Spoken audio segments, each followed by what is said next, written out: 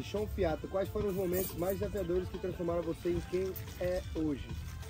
50, Cusão. Eu acho que de tanto tomar no cu, a gente aprende. É mesmo. E a melhor, a melhor coisa é você passar por momentos desafiadores ou tristes. Não tô falando, ah, é bom você ficar triste. Não. Mas quando você passa num bagulho que fica triste, fica marcado. E você aprende a não acontecer isso de novo. Sabe o que fica marcado? A sua reação àquele acontecimento. E a derrota é uma vitória, sabia? Porque imagina só se você for aprovado e bem sucedido no primeiro emprego que você arrumar. Você só vai ficar naquele mundo, você não vai quebrar as barreiras pra chegar onde você quer chegar. Então meu padrasto é, saiu da faculdade já com emprego da, na Noble, depois Ah. foi virou, depois virou gerente geral da Noble, aí foi pro Odebrecht, virou Mas gerente geral do ele, ele, Odebrecht. teve, ele teve derrotas, onde que você fala? Ele teve vitórias dentro desse primeiro bagulho dele, entendeu? Várias vitórias, que foi aumentando para o dono da parada. Agora o cara, vamos supor, é, começa a vender cachorro quente na rua, é, churrasquinho, pum, e dá certo. Pegou a visão? Cusão, eu acho Tipo que assim, qualquer, ó, qualquer trampo é da hora, mas tipo assim, às vezes a pessoa tem uma, uma, uma, uma- como fala? Qualquer- Almejar algo melhor pra vida. qualquer tá empresa bem sucedida nasce Sim. com uma e- escassez de algo que alguém precisa. A Hype Bud, por exemplo. Uma escassez foi no mundo dos streamers de cassino. Não tinha uma agência sincera direito no, no mercado. Ah, Os caras querendo entrar. E todo mundo querendo fazer cassino, pois paga muito. Eu fui o cara que peguei. Eu podia ter fechado. Papo reto, eu conheço o dono da Steak, tem no meu Skype. Dono da Blaze. Dono daquela. É, qual que era o outro nome? Rubet, que eu fechei pros moleques. Tinha uns 3, 4 cassinos gigantescos. A Happy Bud podia estar em todos. O que, que eu fiz? Depositei o meu voto de confiança na Blaze, junto com o cara. O cara depo- depositou em nós. Eu criei o sistema de Instagram, de live. E a gente, pum, trouxe tudo pro mercado. Virou uma empresa onde deu certo. Porque era uma necessidade no meio de streamers, entendeu? Estourou, viado. Ah, John, mas você, meu Deus, você é dono, vou dono. Não, eu simplesmente fui um cara que literalmente fui esperto. Podia ter sido qualquer outra agência do Brasil pra fazer isso. Só que fui eu, um moleque de 23 anos que pensou em tudo, tá ligado? Foi. Quer dizer, 21 na época, 22.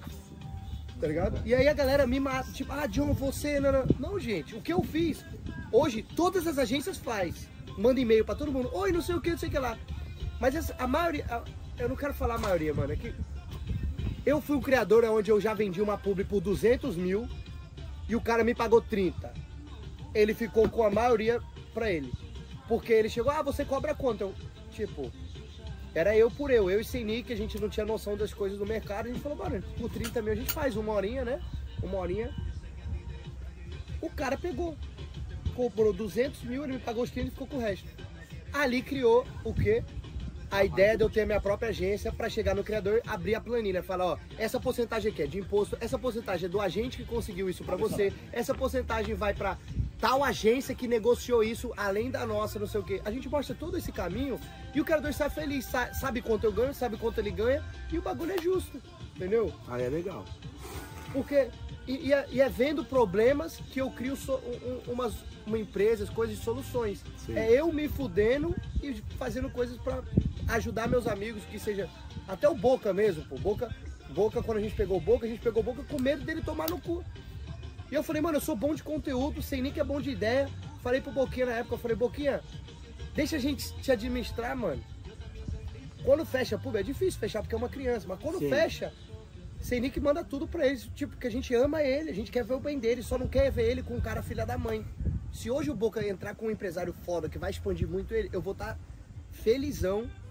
Amém, eu coloco. Mas eu vou querer entender o que, que ele tá fazendo pra ele, pro Boquinha não tomar no cu Sim. tá ligado? Mas se o cara vai jogar ele pra cima, vambora.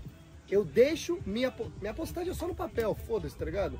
Mas eu quero ver o moleque bem, eu não quero ver os outros ganhando em cima dele e ele se lascando, tá ligado? E aí faz sentido mesmo, porque ele ia, ele ia se lascar ali, Pô, mano. naquele bagulho que ele tava fazendo lá. Aí é foda, rapaziada. Eu vou falar pra você, eu acho que eu já, até, eu já passei por isso também. Você me entende como é que é? Tipo assim, você chega na agência, a agência... Eu acho que todo mundo já Quando passou você por uma faz, dessas. ah, é, sei lá, cobra 10 conto pra fazer o trampo. Aí a gente chega, ó, o mano ali pediu 30, 40, tá ligado? Aí te dá 10 e fica com 30, ó, VAP. É, você, e você nunca vai saber, porque você já tá contente com os 10, tá ligado? Eu não posso falar coisas aqui, mas É, outro job eu fechei. Um bagulho foi 60 mil. Foto no feed, stories, pá, é mó rolê. Quando foi ver, mano, depois que eu criei minha agência e tal, eu conheci o cara, a gente fechou um negócio pra uma outra pessoa. Pô, lembra que a gente fechou não sei o que, não sei o que lá? Aí eu falei, de curiosidade, falei, pô, mano, curiosidade, quanto que fechou essa publi? Não sei se você pode abrir, mas só pra ver se bateu certo. Aí conseguiu aprovação pra me passar o valor, pois eu fui o criador, né? Eu fui o criador que recebeu. Aham. Falei, eu quero saber quanto vocês me pagaram. O bagulho eu ganhei de 60, foi um job de 250. Nossa. Foi onde, é onde eu crio essas paradas. Tipo, eu tento chegar nas marcas, converso com as marcas. E eles não precisam gastar, às vezes, tudo que eles querem gastar de primeira, pô. Vamos lá, se eles gastam às vezes 200 mil com uma agência, nada contra, tá, gente? Pois a gente, tem agência que faz isso, beleza, é o método deles. Eu criei outras formas inovadoras no mercado para conquistar os influencers. cuenta ya que estamos. Sí, sí. sacando. ¿Quiere comprobante fiscal? Não. No. É mais barato sem comprovante, amigo? Então, então o método da Hype Bud, tipo, Eu ia ficar puto, O velho. método da Hype Bud foi, sabe o quê? Inovar no mercado, aonde o criador tem total autonomia.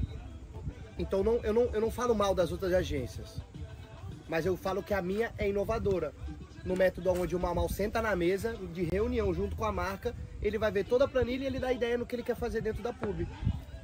Pra ser uma coisa que vai combinar com você. Porque não adianta nada eu vir aqui querer vender uma salada. Você, ah, Mamal, vende essa salada fit.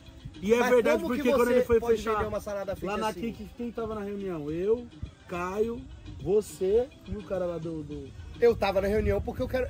Eu fico só escutando no bagulho. Foi mesmo, rapaziada. Tava eu, Eu fiquei John, quietinho, você viu, né? Eu fico quietinho, só querendo entender. Pra vocês não tomarem no.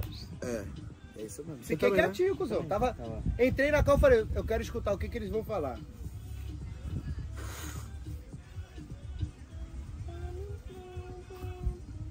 E eu deu- acredito que Deus ajuda. Hã? Deus ajuda. Deus o certo pelo certo. Sabe? Acho que é.